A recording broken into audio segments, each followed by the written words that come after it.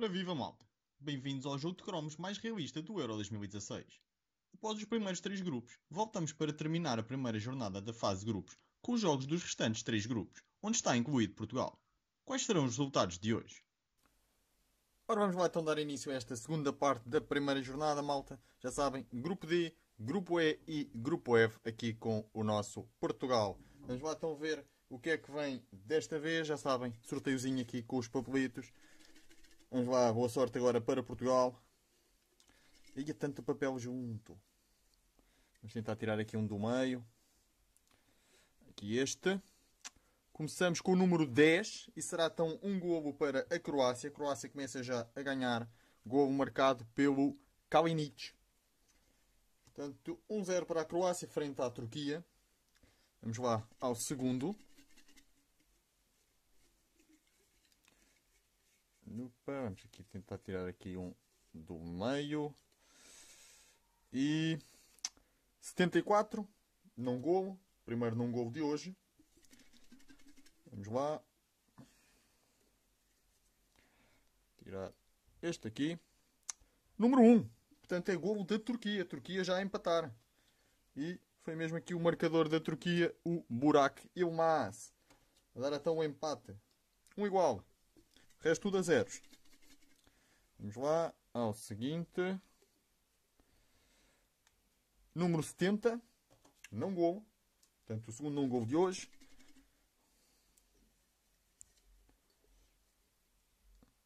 E o número 10 de novo. Portanto, mais um gol. E desta vez aqui para a Croácia. Novamente do Kalinic a bizar. 2-1. Vamos lá ao seguinte. E pá, estão aqui tantos papéis juntos. Vou ver se consigo tirar aqui um do meio. Ah, este. 36. 36 será do jogo Bélgica e Itália. E é gol da Itália. Portanto, a Itália ganhar a Bélgica. Gol aqui do Gradiano Pele.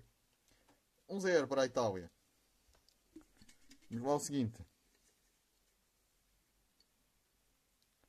70.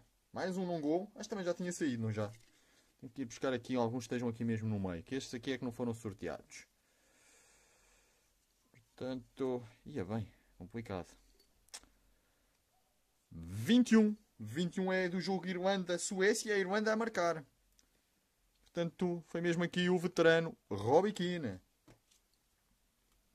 1-0 para a Suécia, para a Irlanda, aliás. A ganhar a Suécia. Vamos lá, seguinte. Opa. 51. E é do nosso jogo. Portugal na frente. Muito bem. Portugal a ganhar a Islândia. E foi gol, imaginem de quem, imaginem de quem, malta. Cristiano Ronaldo. A marcar para nós. 1-0 Portugal. Vamos lá. Sorteio seguinte. E 54. Portugal a avisar. E vamos lá ver quem foi.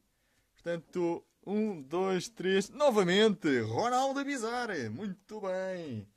2-0. Dois gols de rajada do grande Ronaldo. Vamos lá. Portugal está on fire agora. Vamos lá ver. Seguinte. É essas? Vamos lá ver. O que é que vem? 37. 37 é novo gol da Itália. A Itália aumenta a vantagem. E por Candreva. Portanto, 2-0 para a Itália. Vamos lá ao seguinte. Vamos aqui baralhar melhor. Que é para não estar a tirar aqui números repetidos. Pelo menos tento evitar, não é?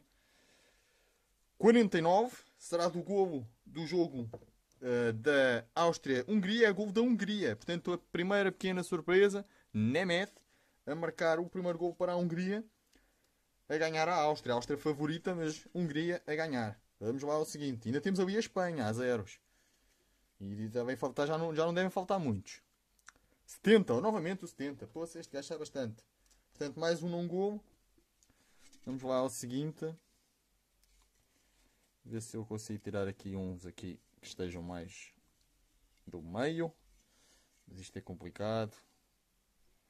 Uh, este. Número 3. E a Turquia passa para a frente.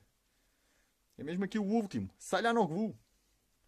Portanto, Turquia passa para a frente a perder um zero, já está. Ai não! Está empatado! Estava-me a esquecer que já tinha marcado também a Croácia. Portanto, dois igual. Grande jogo também temos a ter aqui.